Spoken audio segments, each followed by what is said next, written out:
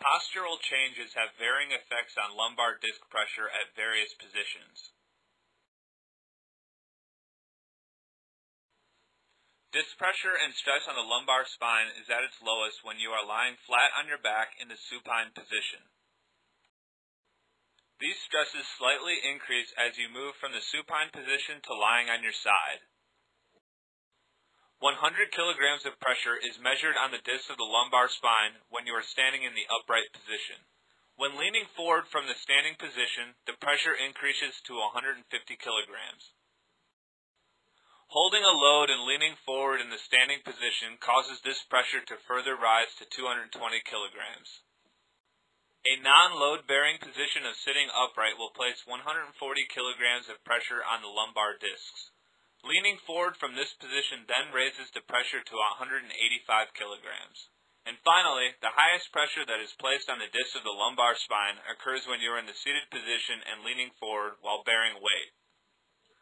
The idea is to hold this weight closer to the body to reduce the pressure being placed on the discs. Intradiscal pressures associated with the seated positions and postural changes have proven to be greater in comparison to the same position performed while standing. Factors which may contribute to pain or degeneration within the lumbar spine include lack of fitness, heavy lifting,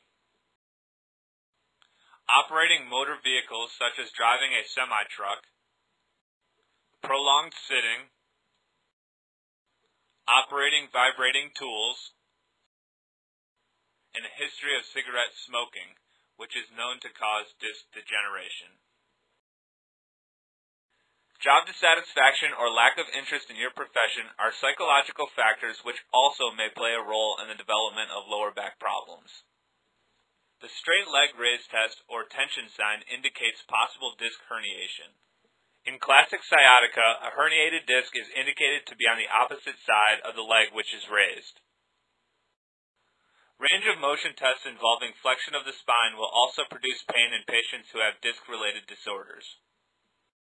Patients with spinal stenosis or spondylolisthesis will also demonstrate pain during extension of the lower back. The foraminal area of the spine decreases by 20% during extension. This area increases by 12% during flexion of the spine. Because of the pain experienced with extension of the spine, people suffering from spinal stenosis get relief from leaning forward.